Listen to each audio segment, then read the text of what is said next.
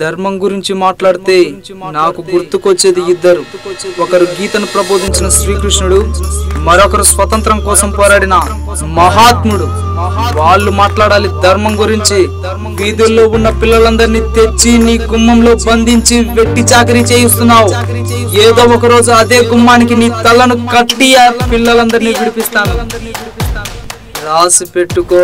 పెట్టుకో